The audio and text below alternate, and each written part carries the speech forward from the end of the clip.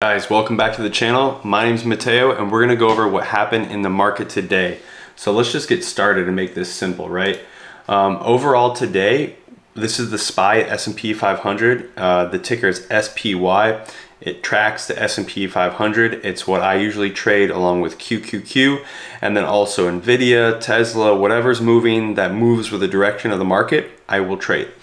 So right now today, I wanna show you what happened actually yesterday. So we had this sell off. Here's a daily chart. Yesterday we went up and tapped um, 389 on SPY. Right now it's 374. So that's pretty wild spread out moves, right? 389 and now we're at 374. So that's more than a $10 move, right? That's like a $15 move in just the span of a few hours because that happened after two o'clock yesterday and the market closed at 4 p.m. Eastern time every day. So um, this is all dealing with an Eastern time, if you were wondering, um, on the East Coast. So uh, all my charts and, and basically uh, time zone is Eastern time. All right, so this morning, where did we start? All right, we, we did a little uh, jump.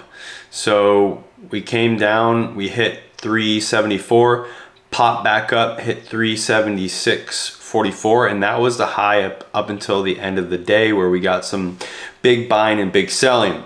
And what I want to point out today is look at the close, right? We we went from 377.31 to 374.17. That is not good when we close, um, when we just drop off at the close. It's a lot of selling pressure and a decent amount of volume. I've seen more.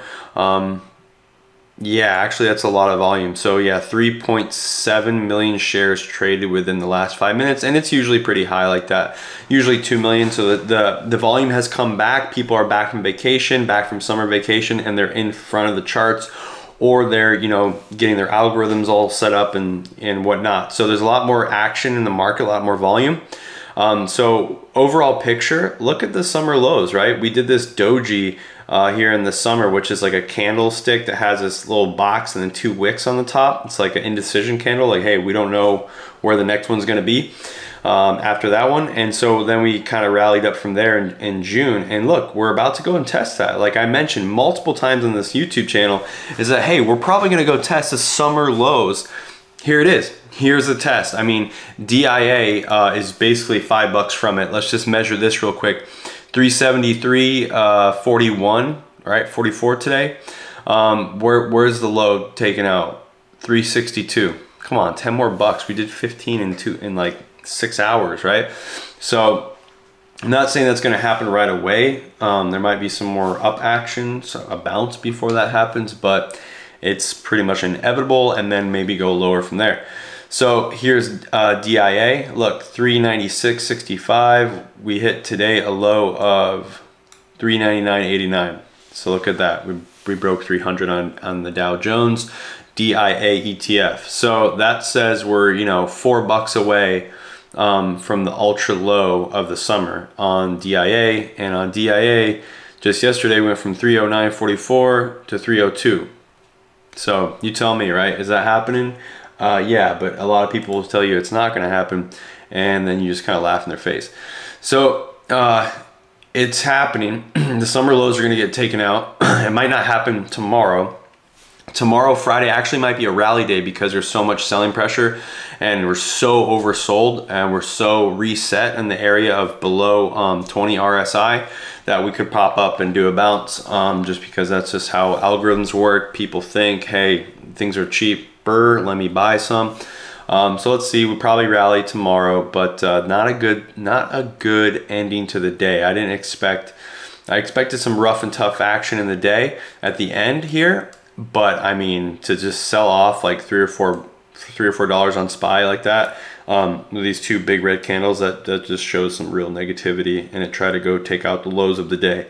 Didn't make it. If it did that, if it closed at the lows, that would be a whole new whole new bearishness, but it kind of kept uh, the middle of that um, tweezer there. And you can see here, this is a trade I saw, I didn't take, but look, here's a tweezer, a red and a white candle next to each other outside of a lower Bollinger Band, and then it got retested lower in the day with a red hammer candle, where it has a wick and then a thick body like that, and then it kept going up. This is something you'll see a lot on a five minute chart, 13 minute chart, 15 minute chart, whatever chart time frame you want to use, you will see this action. Now, what does this mean?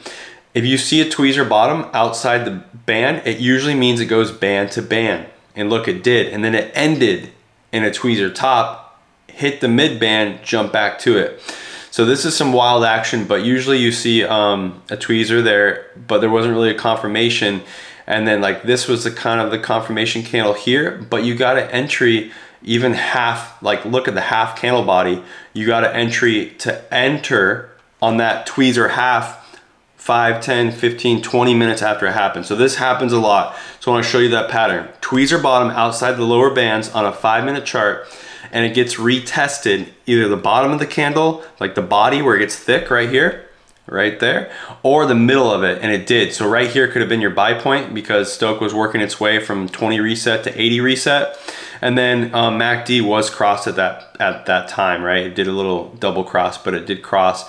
So that was your retest in, or you could get in right here and ride it up to the top band or the moving average, which it did. And then we got super bearish on that perfect tweezer top hit the lower band instead of the bottom band. It always goes to a band, might only go to middle, might go to top or bottom, and then we rally back up. So I just wanna kind of show you that, what I saw today. Um, any questions, please comment down below. Please like and subscribe, and we'll see what happens from here. We might bounce tomorrow on Friday, September 23rd, before we go lower the last week of September. Could also be a bounce, but the first week of October is most likely gonna slice through the summer low. So let's see what happens here. Um, just stay active on the charts and look at it. Even if you work during the day, um, you can't see the charts all day.